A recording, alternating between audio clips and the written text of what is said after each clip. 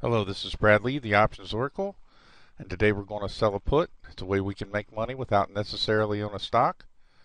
If you don't have time or the inclination to do these trades yourself, you can always go to theoptionsoracle.com, go to what is auto trading, and down here I got links to uh, our service providers.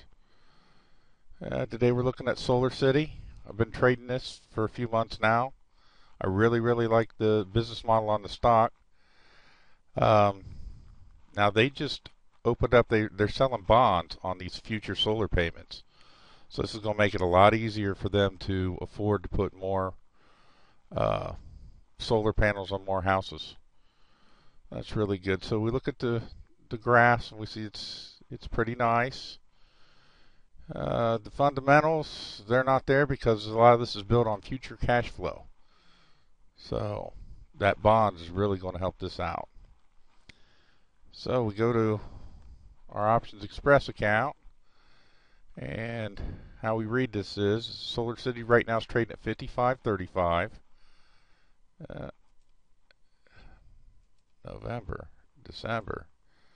Let's get this queued up where we need to be.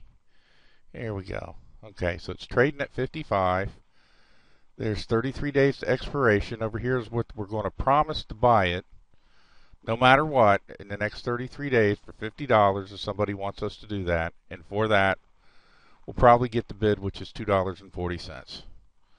So the easy way to do the trade is you just go right over here, you hit trade. I like Solar City a lot. So even though this is kind of an expensive stock, sell to open. I'll do two at $50. That's, uh, I just tied up $10,000. So we preview our order and it'll calculate what it thinks we should get. And for $1,000 it thinks we're going to get about 475 Not bad for 33 days. So this is Bradley, the Options Oracle, signing out.